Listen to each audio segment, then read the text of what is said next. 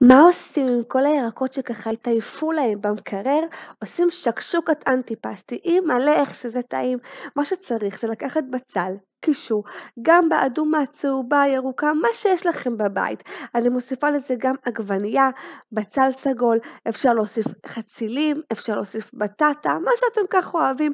חותכת את כולם לקוביות גדולות כאלה, ואז אני לוקחת מחבת, שמה בו קצת שמן, ואני שמה בו את כל הירקות שלי ומבשלת הכל ביחד עד שזה ממש מצטמצם ונהיה לי אנטי פסטי.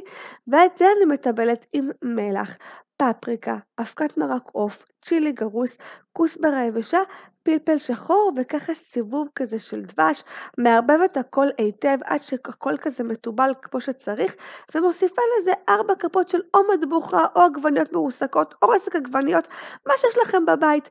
שמה את הביצים, שמה פטרוזיליה מעל, נותנת לזה להתבשל ותקשיבו זה הדבר הכי טעים בעולם, אתם לוקחים חלה ו... עם כל הירקות והביצים ביחד וזה פשוט וואו.